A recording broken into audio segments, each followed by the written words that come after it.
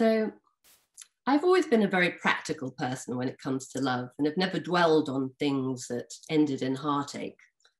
That's until a month ago. I'm at my computer checking my old email account and I see a message from a Trevor McLean. Now, Trevor was a Jamaican guy I dated 20 years ago when I lived in the San Francisco Bay Area.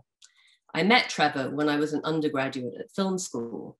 He was only a couple of years older than me, but Trevor was an adult. He had he was really sophisticated. He had a job in finance and lived in New York City, so I'd see him whenever he came to San Francisco for work it was a real treat for me because I was living off beans in this crummy, roach infested apartment in Oakland with roommates. But whenever Trevor came to town, I get to stay with him at his hotel and we'd, we'd dine at five star restaurants. And it was the 90s. So all the boys I knew were wearing baggy Girbaud jeans and Adidas jackets. But Trevor was wearing tailored pants and cashmere sweaters and we would debate about absolutely everything because he was so smart and well traveled. Well, the fact is, I was in love with Trevor. But I'm a practical girl, and I knew that I was just the one that he saw when he was in San Francisco for work, so there was no point. But now Trevor's smiling face is looking back at me from my inbox, and I'm remembering back to the last time we saw each other. It's the Millennium New Year's Eve, and Trevor's invited me to Jamaica to spend it with him. And I'm so excited to see him um, because it's been a month. And as usual, he's organized everything, and the car service takes me to the hotel in Negril. But when I arrive, he's acting really weirdly. I mean, he's usually a little bit aloof, but this time he's really off. And so my feelings are hurt. So I decide I'm just going to numb them and get stoned except I am not a weed smoker and we're in Jamaica where it's the real deal. So from my first hit, I'm completely off my head. And I'm looking at Trevor through this kind of haze of ganja smoke, and I start thinking, maybe his metrosexuality, the fact that he's so aloof and that we have this long distance relationship, maybe Trevor isn't really into me at all. Maybe Trevor is gay. Well, I don't really remember what else happens for the rest of the vacation. Trevor goes back to New York. I go back to the Bay Area. And, you know, being a practical girl, I move on with my life and I meet my ex husband.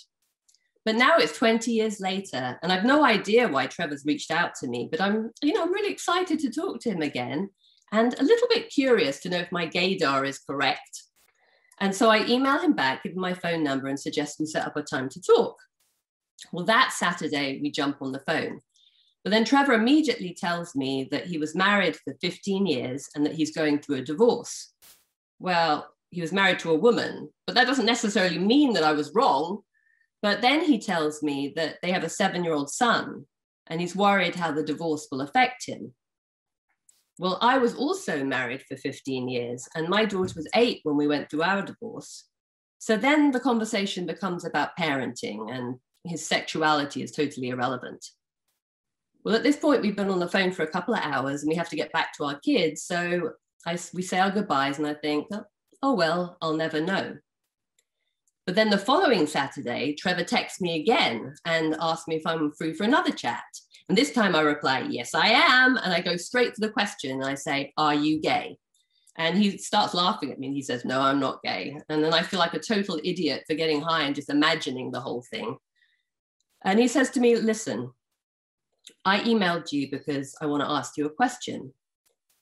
What did you think about me back then? And so I say, well, you know, I, apart from our disastrous last vacation together, I have nothing but wonderful memories of you. He says, no, no, no. I mean, what did you think of me?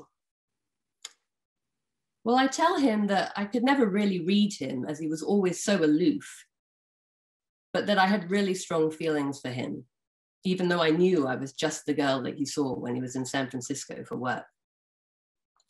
Now, to this, Trevor becomes very silent. And then he says, The thing is, I was never in San Francisco for work. I didn't have any business in the Bay Area. I only ever went to San Francisco to see you. From the first moment that I met you, all my boys were like, Who is this girl? And I just said she was the most amazing person that I've ever met. And I started thinking that this relationship could never work if I lived in New York and you lived in San Francisco. So I started trying to find a, a way that I could find a job in the Bay Area. But it was going to be so hard because I didn't know anyone there, there except for you. When I invited you to Jamaica, I was going to tell you that I was going to move to San Francisco so that we could be together. But then when I was face to face with you, I froze. Well, when I got back to New York, my boys were like, So, what happened? What'd she say? And all I could tell them was I fucked it up.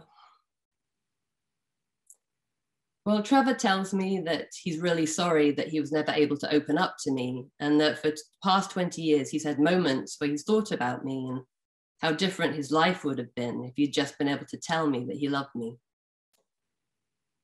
And after the call finishes, I first I'm in shock.